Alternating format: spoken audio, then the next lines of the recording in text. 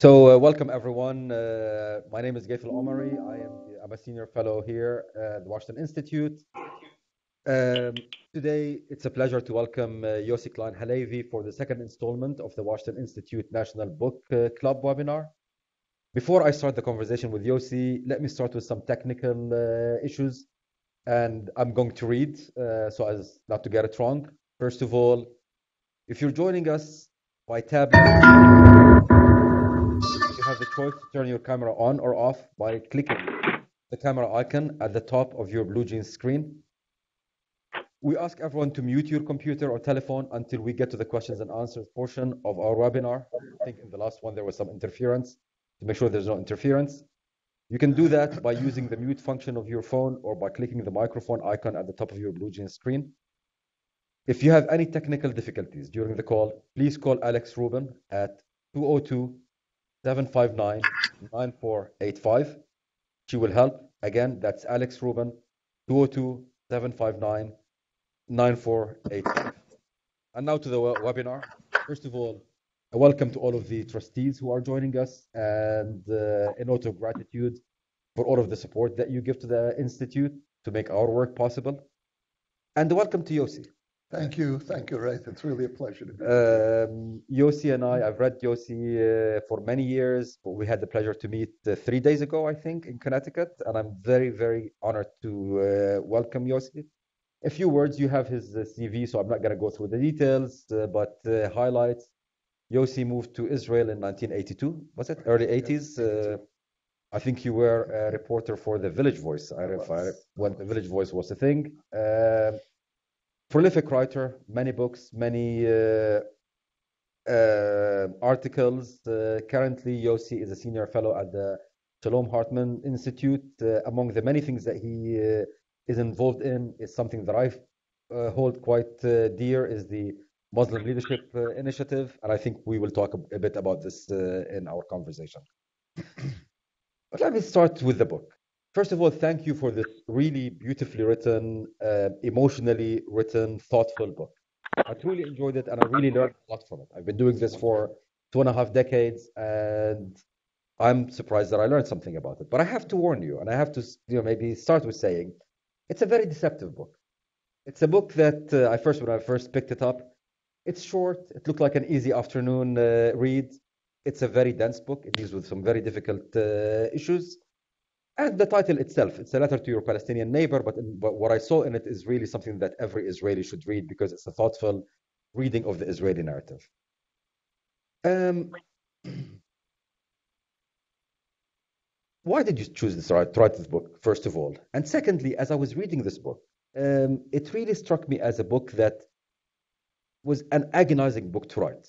I, you know, as I'm reading it, every word seems to be uh, uh, carefully selected. Every idea seems to have been, you know, uh, dealt with with a lot of uh, uh, emotion behind it. So, why did you write this book? Can you tell us a bit about the process of writing this book for you as an author? Well, the book really uh, begins with a previous book. I, I, mentioned that in the in the introduction, a journey that I took into uh, Palestinian society in the late 1990s. Um, the um, the journey that uh, that then became the basis for a book called At the Entrance to the Garden of Eden. And that book was really an attempt for me to listen and learn.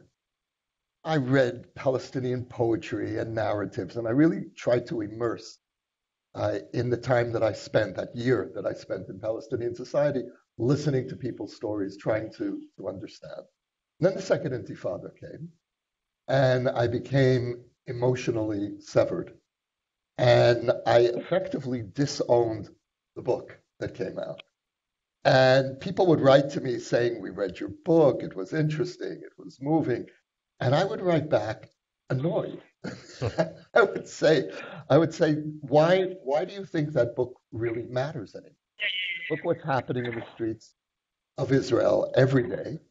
And why do you think, because I happen to have had some interesting experiences with Palestinian Sufis, that that means anything. And you know, because people would say this gives me hope. I said, what hope? Hmm.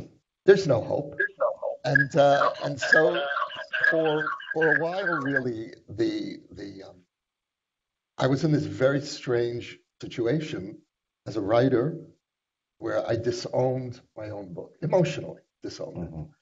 And then you you mentioned the Muslim Leadership Initiative, uh, which is uh, really the initiative of my friend and partner Imam Abdullah Antepli of Duke University.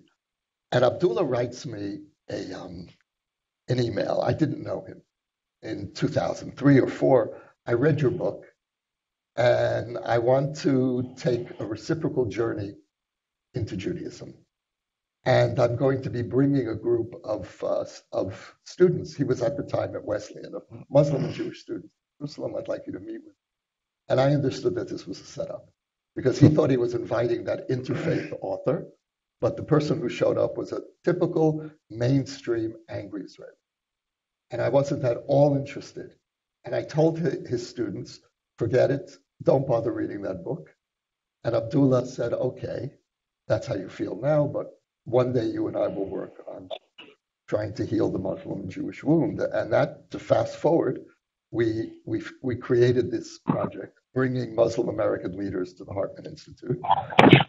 Result of that project, I'd say several things happened. First of all, I realized that I can't continue being intimately involved with Muslim American leaders and not being involved with Palestinians across the way. And also the the book, the the the experience of being involved with, with Muslim American leaders gave me a language for how to speak to Muslims about Zionism, Israel, Jewish peoplehood. And so I applied what I learned in that program to this book.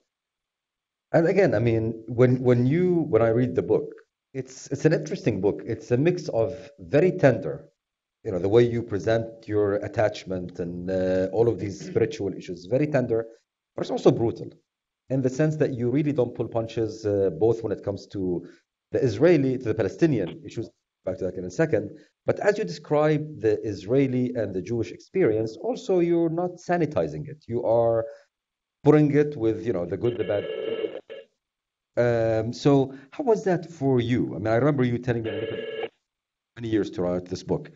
Yeah, yeah, I've been working on this book probably six, seven years, on and off. Not not intensively. I would write a little bit and then move on to to to other projects. But and this was this kept pulling me back in. And I realized when it when it was finished that I'd actually been writing this book for for for decades. And it was a conversation in my head for for for all those years with with an imaginary power.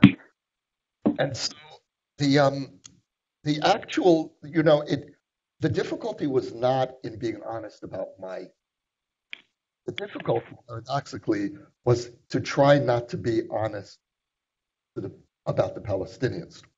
I'll give you an example. Mm-hmm. This is something you and I have spoken about. The, the, the, to my mind, the fatal flaw of Palestinian nationalism is its, its relentless um, focus on victimhood. It is a narrative born in victimhood and and at crucial moments was uh, the Palestinian national movement, from my perspective, was unable to uh, to reach compromise because the the the power of the victim narr- narrative. And I wrote that in in several earlier drafts that didn't didn't sound right. Sounded like, as it is, this is a one way letter, and and and and the danger of that is you could sound as if you're lecturing. And what, what I felt would mitigate that to some extent is if I wrote about myself and not write about my neighbor. And I say at one point, I'm not going to tell you how your national identity evolved. I did an earlier draft. Mm. mm. and so, so what I had to take out was, first of all, that uh, any any attempt to try to tell a Palestinian, you know, who you are, and the other, the, mo- the most difficult challenge was the tone. How do you write in a way that that that is respectful of your neighbor, but at the same and, and as empathic as possible, but at the same time maintaining the integrity of your own narrative? How do you balance that? On the book, uh, I think maybe even the first first paragraph of the first chapter, you set a very clear spiritual religious tone.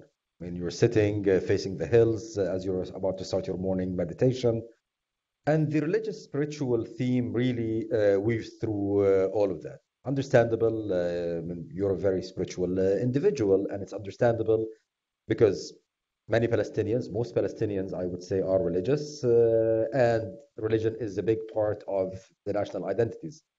However, what about your non-religious leaders, first of all? And secondly, you know, in practical terms, my own in, uh, encounter with religion in this has by and large been negative, has by and large been voices that actually are try are maximalist and try to uh, perpetuate the conflict.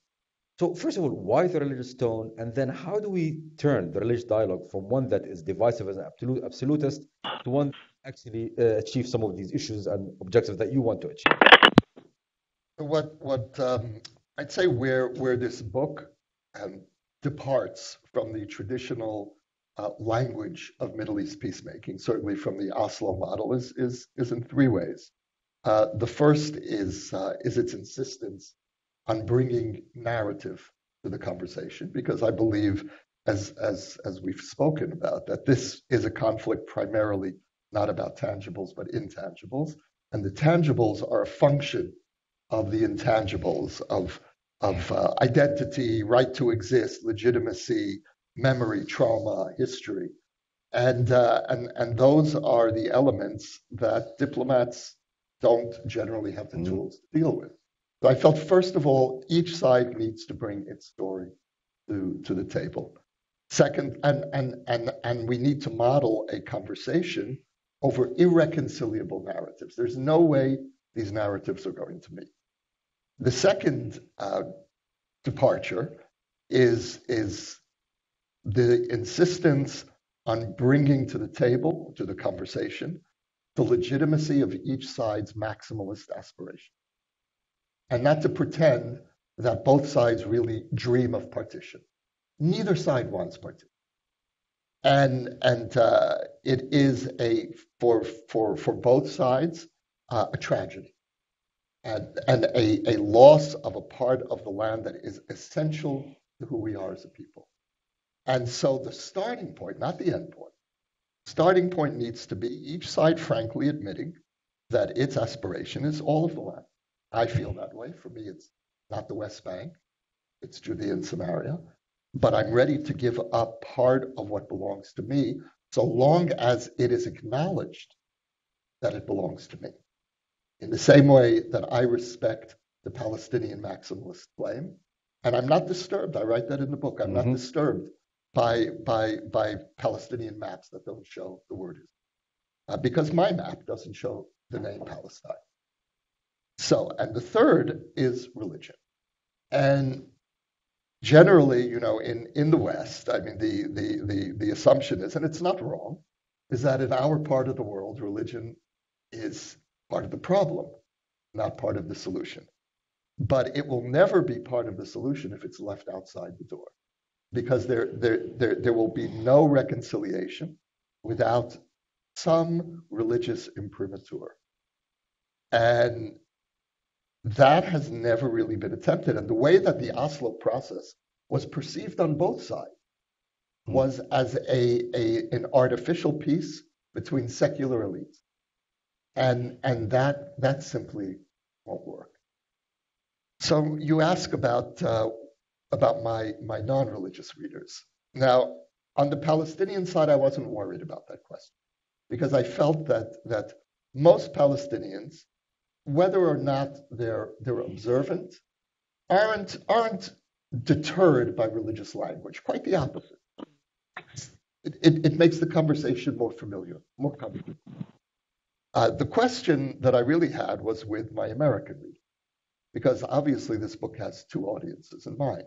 There's the Palestinians, and, and I would say more broadly, the Arab world, and there's there's the American audience, and in particular American Jews, and in particular young Americans, who are by and large secular. And so, how am I writing to one audience in a religious voice when I'm clearly going to be alienating another audience uh, that uh, that is is not used to a religious voice, and I had to make a decision. Which is my primary audience? And by choosing to write this in a religious voice, I made a decision that my primary audience must be my neighbor. And that whoever is eavesdropping in on the conversation will have to live with that, with a Middle East hmm. dialogue. And, and in that sense, I think that, that I've, quote, gotten away with it. Because um, the responses that I've gotten, even from young secular American Jews, is okay, this is a conversation. This is, we understand, this is a Palestinian Israeli. And I think people should start getting used to the fact that whatever conversation is going to happen between Palestinians and Israelis uh, will need to have some religious context. And, and the, the validity of that was confirmed to me by some of the letters I got back from Palestinians. Uh, one young man wrote to me that I've never been able to consider any Zionist narrative, but reading a religious Zionist narrative softened the blow for me. Interesting, so, very counterintuitive to the way yes. that we've always seen it. Let me dig deeper on a couple of points that you raised. And the first one is, as, as you mentioned, you write in the book that you are not bothered by the Palestinians displaying a map that does not include Israel. You're probably the first Israeli that I've met who uh, said something like this. This is something that understandably uh, deeply troubles many Israelis. But then you go on to proceed uh, to talk about, for example, the West Bank as Judea and Samaria. And you make a point of saying that for you it will always be Judea and Samaria, which will be very jarring to many Palestinians readers, Palestinian readers. So how do you, I mean, how do you think is the best way to start these kinds of difficult conversations without getting the other side to shut down? How do you put down your that position while at the same time keep an open window for conversation with the other side? So, in the conversations that I do have with Palestinians, uh, or more broadly with, with people in the Arab world, or for that matter, uh, Muslims in America, uh, my starting point is I, I respect your claim to all of the land. For you, it is all of it is Palestine, including what I call the state mm-hmm. of Israel. Okay, pause. Ah, great. and the reason that I can respect your maximalist claim is because I also have a maximalist. And to some extent, that, that is irreconcilable, but there are practical solutions. In the real world, you don't always get what you want. Quote the Rolling Stones. You're familiar. Very familiar, yes, thank you. so, and uh, so the, the, the, but the starting point needs to be an honest conversation about our attachments. And I'm asking you not only to listen to my attachment, but to respect the historical attachment, which I don't believe I have the right to implement politically, because then that will come at your expense. Just as I respect your historical attachment to all of the land. I have the three things. Don't believe that you have the right. Three things at the top, and what's the that max, that claim, because that will then deny my ability to exercise national sovereignty. So, so we need to separate. Uh, and one of the Palestinians who wrote me said this beautifully. He said, he said we have to separate the right from the return. And, uh, and what that really means is that each state will be the repository of its people's return, but not the land. And we have to separate the land from the state. And and that's you know I, I i feel that the two peoples never internalized the moral logic of partition. The moral logic of partition is that this is a little land that both sides have have have legitimate claim to to all of the land that's the starting point for for for morally expecting for for me to expect the other side to compromise on what it believes is theirs because i'm going to do this. and so that's the move that we need to make explicit. Now, for, for those of you who sat for years around the negotiating table, you understood the move. But the publics didn't, I, I would argue, did not understand moral basis for partition. And I'm not sure we did, and I will get back to that in a minute. But uh, let me, again, dig a bit deeper and go more concrete on this. One thing that uh, I don't know if we mentioned, but uh, you've translated the book and you put it up for uh, free download, if I believe, in Arabic, and you will be coming uh, out with the uh, paperback soon, in which you will include some of these uh, responses from Palestinian, uh, your neighbors, and I understand even from a Jordanian in one of those cases. And an Yeah. Egyptian writer. and an Egyptian writer. So, what is the overall? I mean, if you want to categorize some of the responses that you got from Palestinians, what kind of responses did you get from Palestinians? So the uh, there were two kinds. There was the one or two lines of threat uh, and hatred uh, on my Facebook page. Uh, the armies of Muhammad are coming to get you. We're coming to burn and you. You Mm. you're a liar. You have no history. That was one response, and a fair number. A second response were long, thoughtful emails by people who had clearly read the book and were engaging me on different points. And I've chosen 12 of the best of those letters. They will now be included in this new epilogue. And the, those voices will have the last word in the book. And I felt that that was necessary, first of all, to honor their goodwill and their courage. And secondly, to now try to model what a respectful disagreement over, over our rival narratives sound like. And these letters, what they all have in common are several things. One is they deeply disagree with my 1948, 1967, 2000. At the same time, I would say all of the letters are ready to accept the indigenousness of the Jewish people in this land. And they see that as a tragedy for their people. And, and I, I understand that. As, as I see the presence of the Palestinians as a tragedy for us as well. It, it, it,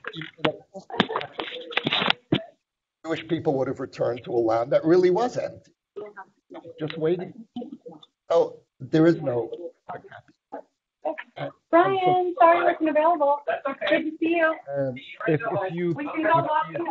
uh, um, uh, whoever has a hand, you, uh, mute it Okay. Take so we don't care. have interference. Thank you. So, so that was the the the, the so th- those were some of the the common threads running through through these letters.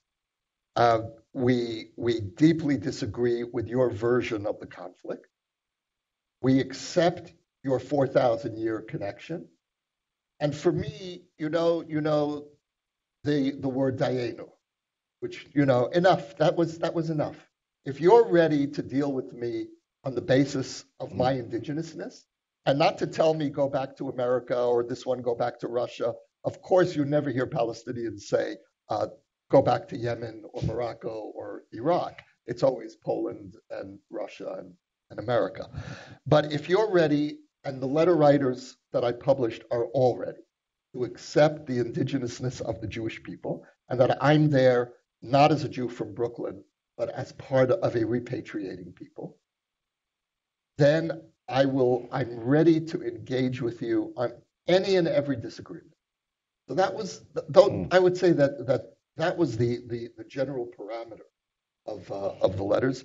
Some of the tone, the, some some there were tones that were more conciliatory. Some of the letters accused me of being a propagandist. That's okay. I understand why it would sound that way to to some Palestinian readers. Uh, I think others wrote that they understood that I was not deliberately disseminating falsehoods, that this was really my narrative. And, uh, and I think that that's a major step forward. I mean, I, now I know it's not your audience, that your target, but uh, I'm curious, what was the reaction from Israelis, and particularly uh, as a religious uh, Israeli, what was the reaction from uh, Israelis who are have the the religious uh, sense of uh, connection to the land? Uh, Well, the, the book has not yet come out in Hebrew. Okay. Uh, it's being translated now. And I'm actually, I, I'm, I'm a bit relieved that it hasn't come out right away because I felt the, I needed to deal with different audiences and stages. And the Israeli conversation will be very different, obviously, from the Palestinian conversation, but even from the American Jewish conversation. The Israeli conversation, first of all, uh, there, there, this is, this is, I'm, I, it's, it's a strange book for an Israeli. Imagine.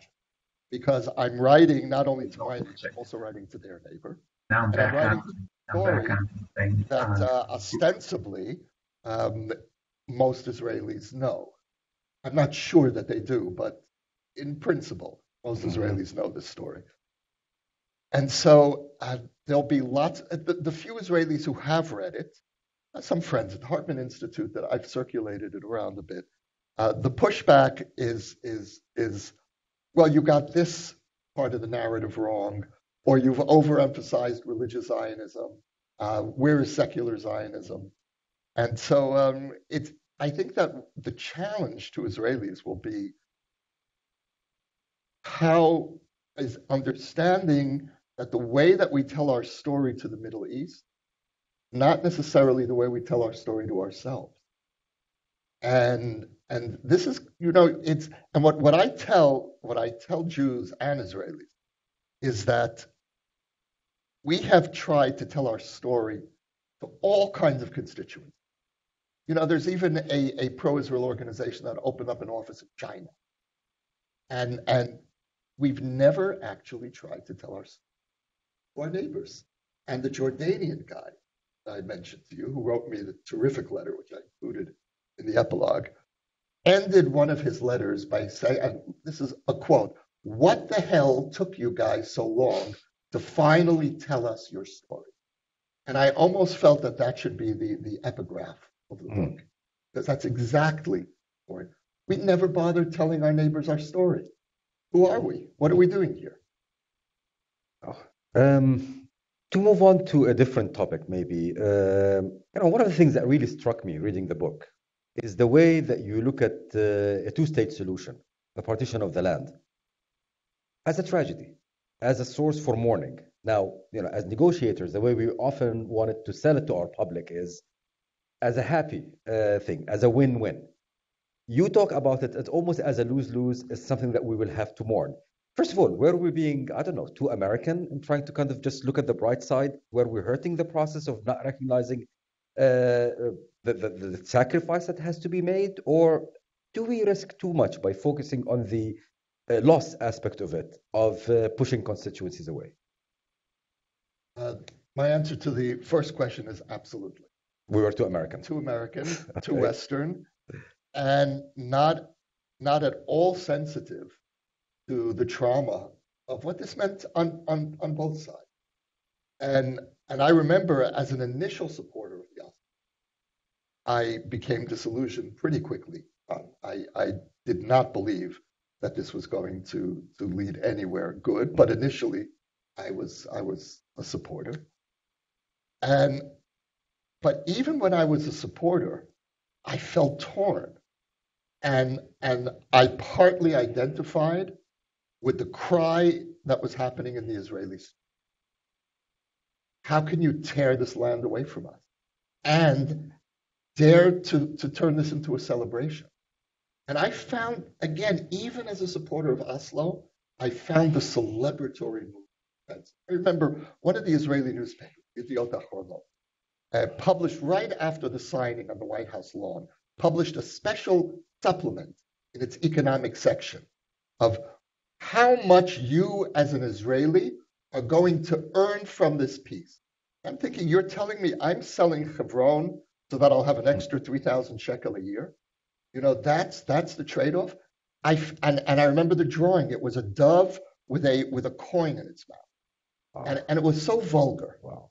And and the way that the peace was sold was was was with such with such insensitivity to to Jewish religious sensibility, historical sensibility, and I'm sure a similar process was happening uh, to one Mhm. extent or another on the other side. Yeah. And so there are no shortcuts.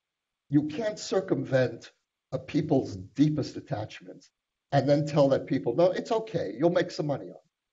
Maybe some people will, will go for it, but I mean, this is, uh, in my view, very relevant today as ideas like economic peace and whatnot uh, keep popping up. I think this is something to remember. Now, there's a lot to ask, but let me jump to my penultimate question, and then we'll open it up. Uh, one of the things that you write, and of course, you know, it, it, it uh, spoke to me directly when you were criticizing the diplomats like myself and like some of my colleagues here for um going really.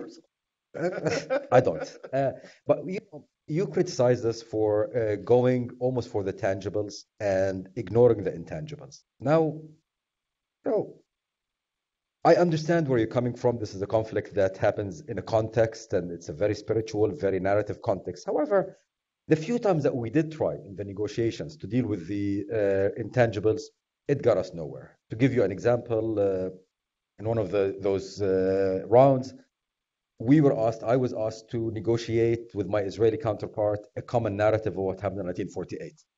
We could not get over the basic question was 1948 a good year or a bad year? You talked about actually, you know, a quote from your book My protection is your vulnerability, my celebration is your defeat. The nature of these issues that you were talking about almost defy the very essence of negotiations. You talk about identity. How can you uh, compromise on identity? And this is what negotiations uh, are about. So, are we overloading the process if we ask uh, the negotiators to deal with these issues? Um, can we separate the political from the narrative? How do we deal with this with this tension between these two issues? I think that that you you've proven that negotiators don't have the tools to deal. And in in the example that you raised, which is the attempt, which was doomed to failure from the beginning, to create a, a common narrative. There is no common narrative. There- There's there's no common narrative between redemption and Nakba. That's that there is an abyss, and that abyss will remain. The the question though is can we learn a way in which we speak about our opposing narratives? And this look, this book is an experiment. It's nothing more than that. And it's an experiment that, to the best of my knowledge, hasn't really been tried. There, there was a, an interesting book that was published, so you know it, The Dual Narratives. Mhm, And, uh, and but that's, you know, that's very dry mhm, and and this is the first attempt that I can think of of that's that's of of to bring conflicting narratives from personal perspective. And when I publish the Palestinian responses, then it really will model what that Mm. sounds like.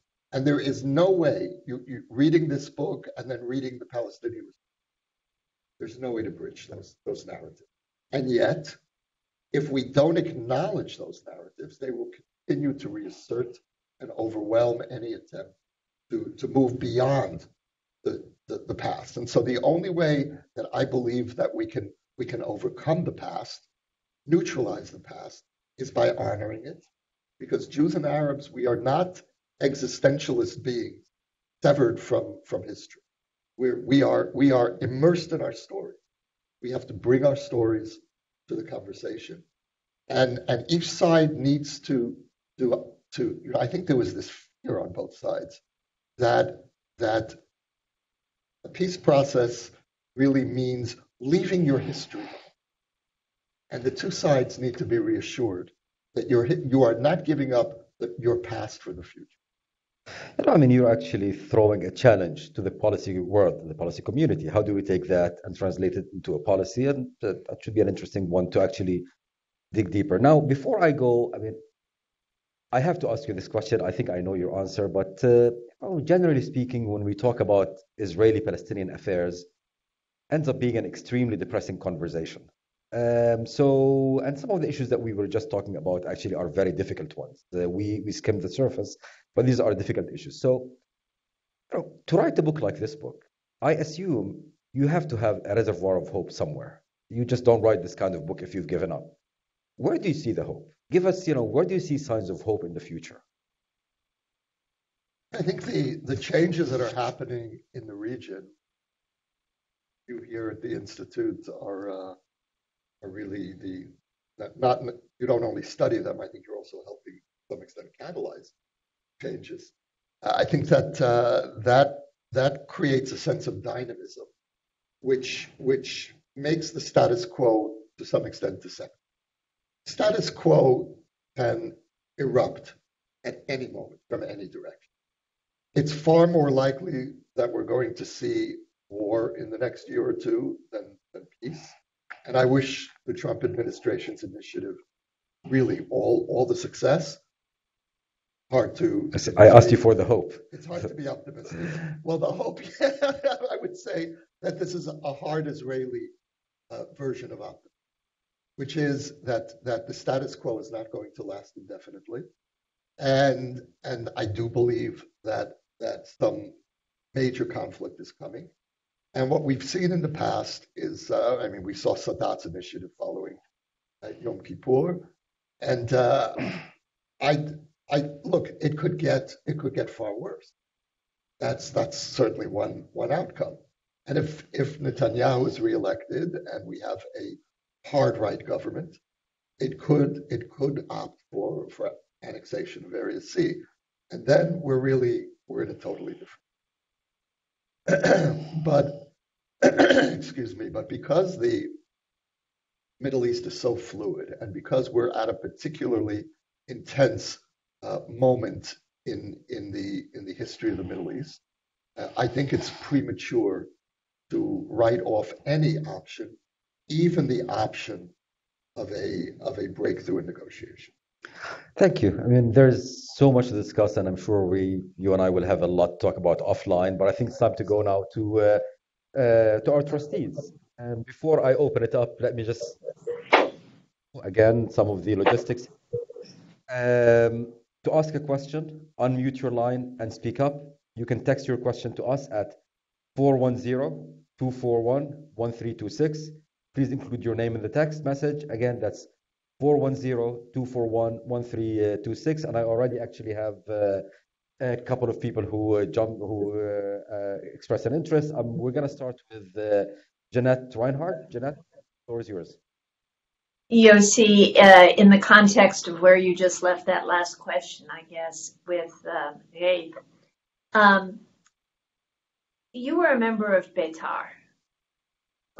What is your reaction to the recent integration of the Kahanist movement into the Likud political equation? Is this going to help us get to where we need to go?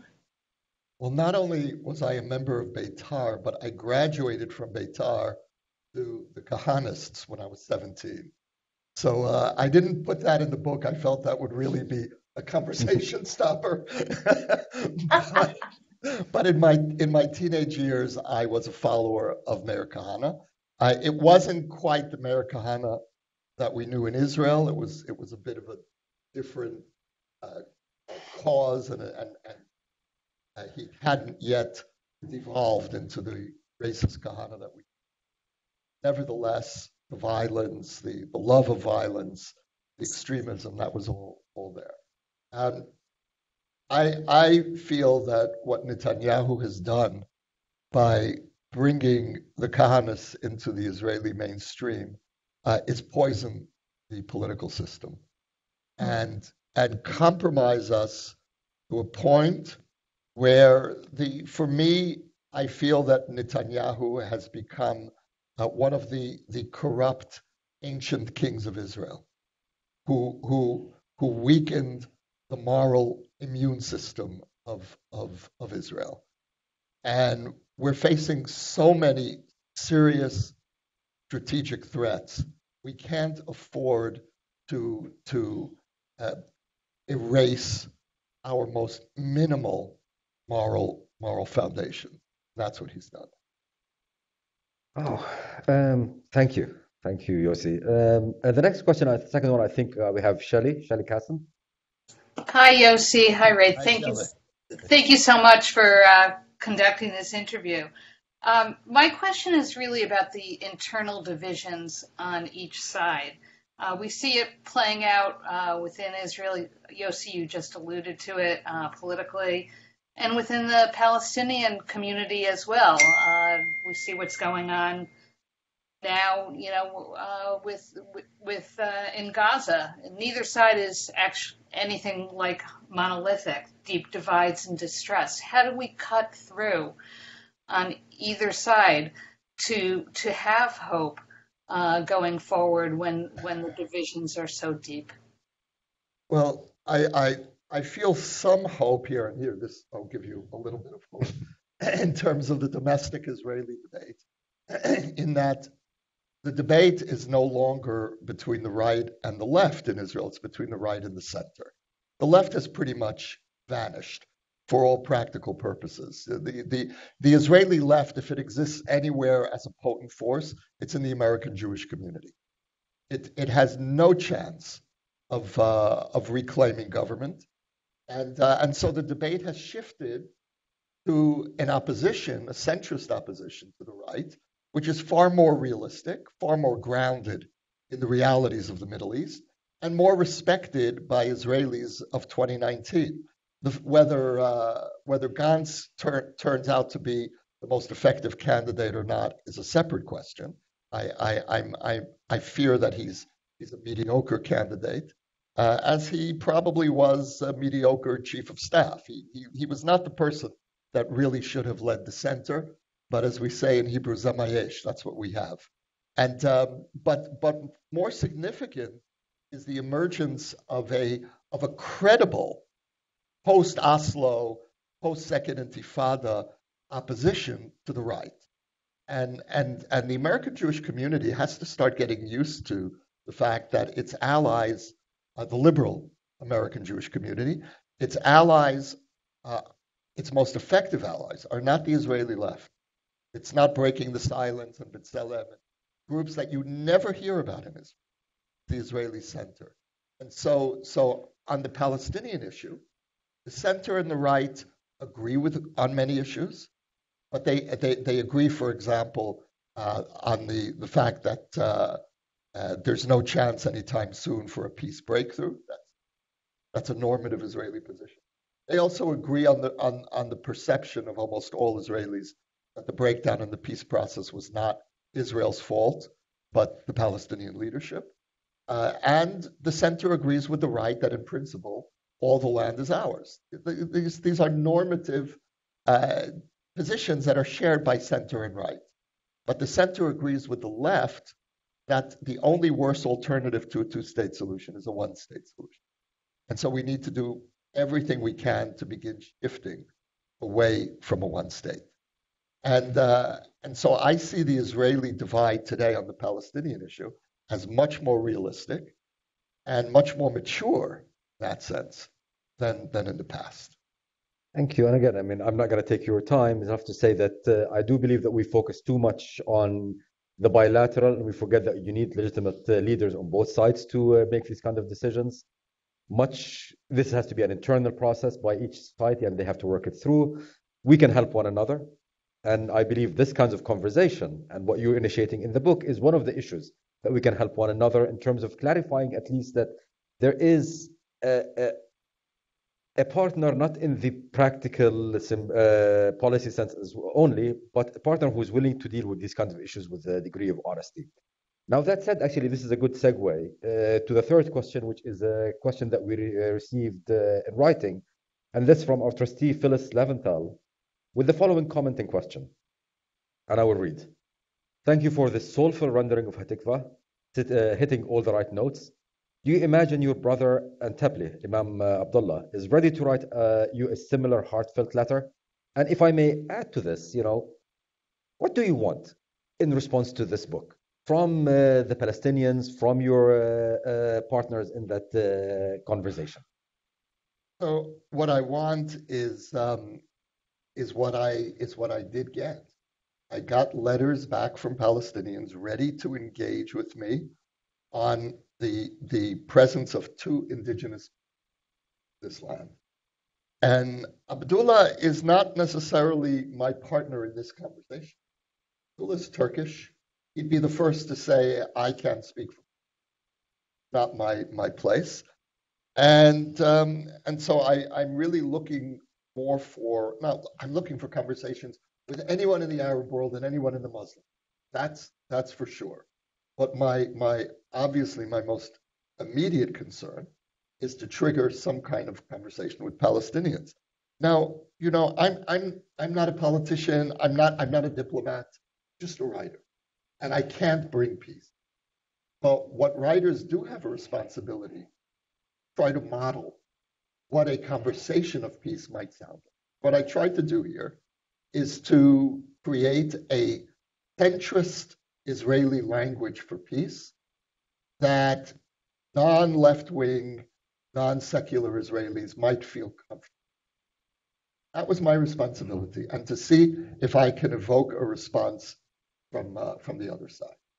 If, if I may also, just since we're on the topic of MLI and uh, Imam Abdullah, who I have met before, who I have tremendous respect for. Um, but in general, when you have these interfaith conversations, and my understanding is most of your interlocutors are actually not Palestinian or Palestinian Americans, does this issue resonate? Is there is this an issue that impacts the interfaith uh, conversation, or is it remains on the, if you wish, jurisprudential uh, uh, level? What what our project, uh, Muslim Leadership Initiative (MLI), uh, what we do is begin with the Israeli Palestine, and and usually what happens in Muslim Jewish interfaith efforts, certainly in this country, is that uh, you try to look for commonalities. And it becomes sweet. We're children of Abraham. And that's all very nice, except that the, the descendants of Abraham are killing each other. And anytime something happens in the Middle East, uh, it, it, it impacts on these well intentioned but often superficial efforts to, to bring Muslims and Jews together. And an, an example uh, in current Muslim Jewish interfaith conversation in America is that uh, there's an attempt to say we're going to focus on a shared threat on white supremacy. Now that's fine, except that Muslims and Jews also see each other as threats. And the Ilhan Omar incident is a is, is, is a classic example of that. And so how do you how do you unite over a shared enemy when at the same time you see the other the other as an enemy? So this is very much part of our our work. I would say in some sense it's it's the defining aspect of our work. Interesting. I see. Uh, is there any more uh, audio questions? Because I see we have a written question here. Oh, So, and this is a question. I'm sorry, I didn't see who it's from, but uh, what is the level of people-to-people uh, interaction between Israelis and Palestinians in the? And uh, I mean, I would also add, you know, this is an issue that maybe in the 90s we did not really have to face because there was an organic interaction between the two people. Certainly since Oslo and certainly since the Second Intifada, we've also lost this kind of organic interactions that we used to have. So what is the state of this uh, Well, look, I think the, the most telling response that I can offer is that many of the letter writers asked me not to use their names. And and or even those who said I can use their names in English that don't use it in Arabic. And we have a website now in Arabic. And uh, and so I have to be very careful what I translate from English. And the fact that that you know, and none of these letter writers betrayed the Palestinian cause. Mhm. They all of you you you read some of those Yeah, letters. There yeah. there there there's tremendous integrity and and solid national solidarity, and yet even that even then they couldn't feel they wouldn't feel comfortable or perhaps safe putting their names to uh, to the letters. So there there is some people to people work still going on. There's but it happens mostly in Jerusalem um, or among among Palestinian Israelis and Jewish Israelis. That tends to be where it's concentrated. You know, you touch on a point that I've been agoni- you know, agonizing about for a while. You know, David Makovsky and I, we go to campuses, we engage in some of these dialogues, and I've always been curious, and I really have no answer. Can we, from the United States, impact this this sense of uh, conversation uh, in the region? Can can our people to people here replace uh, uh, your people to people on the ground, or are we uh, or do we have the standing for this? Do we have the impact for this, or or is the conversation forever going to be defined by what happens by between Palestinians and Israelis? Look, I, I, I understand the problematics, but you never know, especially in the age of social media when, when information is so permeable, never know the impact. And, and if we're not able to engage kinds of conversations, certainly not openly there, then we need to engage in those conversations wherever we can. I did a campus tour recently with one of the Palestinians who wrote me a letter. Now, we can't do that back home, but we were able to do that here. And whether it has any significance or not, I don't know. Whether this has any significance, really. But what I do hope is that what our efforts, all of our efforts, are doing is trying to create a language so that when we, if and when we ever do get back to the table, maybe we will have uh, have have have a new way of of speaking about these issues, you know, and and because the old way is it's it didn't work. No, and there's no.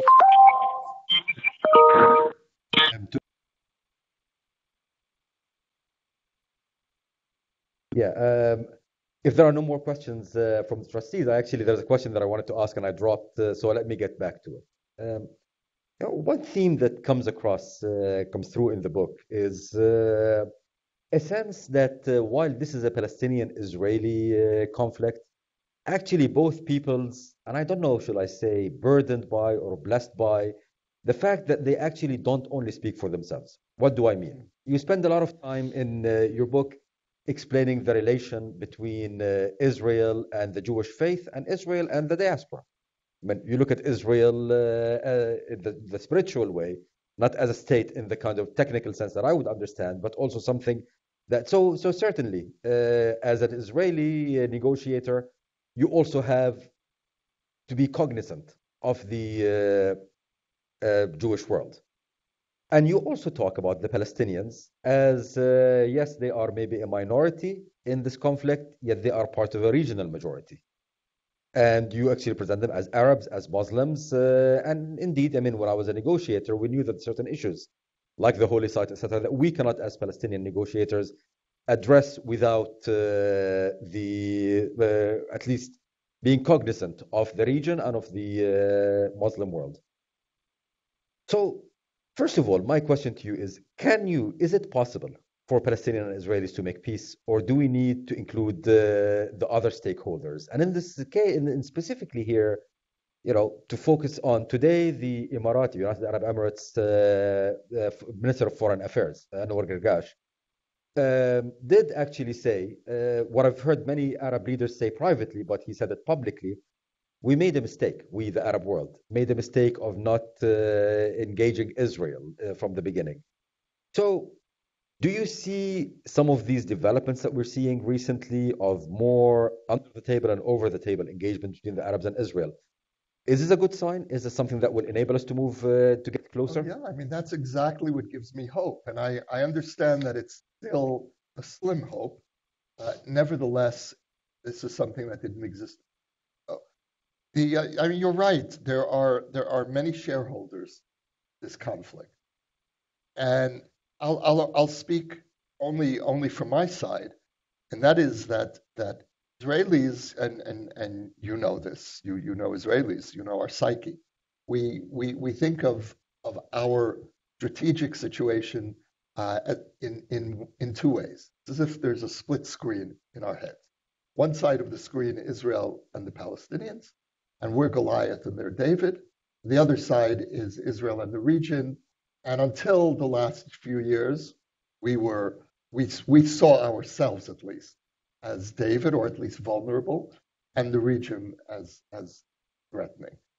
And so the the the more we bring the region into into the the the, the negotiating process, the the more we we we directly address complicated Israeli psyche because to just focus on a bilateral Israeli negotiating track does not address the the complexity of of my dilemma.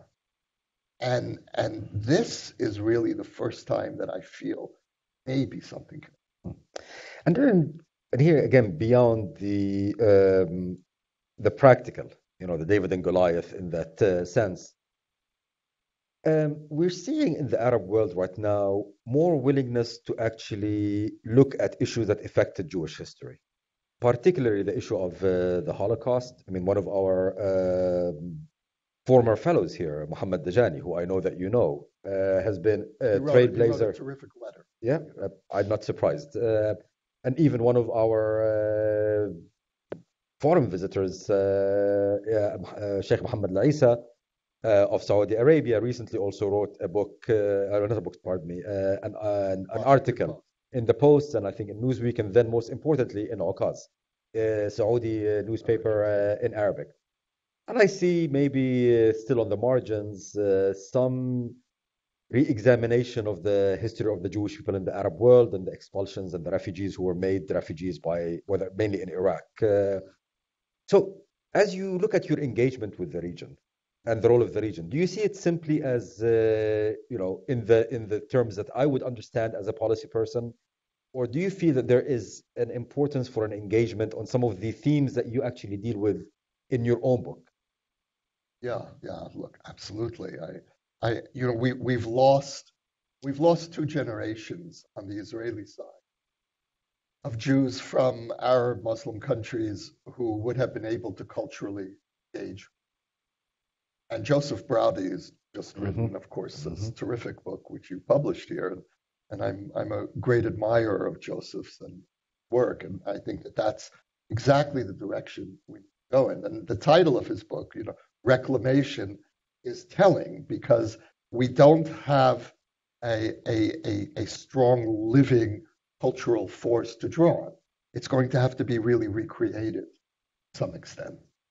We've lost, we've lost two generations, and, and, and the grandchildren and great grandchildren of the Jews who came from, from the Middle East are, are as Israeli as, as, as Ashkenazi kids, which means that they have lost their, their Middle East sensitivities to, to a large extent. Mm, So, mhm. so, so, so, but this is the work that uh, that that I feel urgently needs to be done, and I have been following partly through through Joseph, the uh, the the changes in at sporadic, but nevertheless we we've we haven't heard these voices at all in the past within the Arab world of of people beginning to ask the question of what what actually happened to those and where did they end up? And did the fact that they end up in Israel, does that have some significance for us and how we see Israel? So that that gives me hope. Okay, so we're coming now towards the end of this. Uh, we can go on forever, and I'm sure you and I will continue going this conversation for a long time. But let me actually conclude with contradicting you on a positive note and to say that actually what I see coming out of Israel now um, is a lot of new Israeli uh, cultural products, particularly music, that actually are rooted a lot of the a lot of the Mizrahi tradition, and especially in music. And this is making inroads in the Arab world. Uh, and I'm not in my day job, but I really I follow the uh, musical scene in the Arab world, making amazing inroads that actually have done probably better than your book than in, in reaching the message. I'm, I'm being facetious here, but however, I mean, I would really want to conclude by thanking you for two things. Right, thanking you for writing this book. Uh, I think this is both courageous and and essential in uh, widening the conversation, but also, frankly, allowing us in the Washington Institute to move away from what we usually do. We usually talk about policy, important, and that's of course very important. But I think these kinds of conversations are the ones that we could need to have more because this is ultimately the context, the foundation that we work within. So thank you so much for it. Uh, thank you for all our trustees for being you. here. Uh, thank you. And, and I just want to thank the Washington Institute and Shelley. Really, it was just a pleasure to be with all. Thank you for, for adopting the book. Appreciate it. Thank you.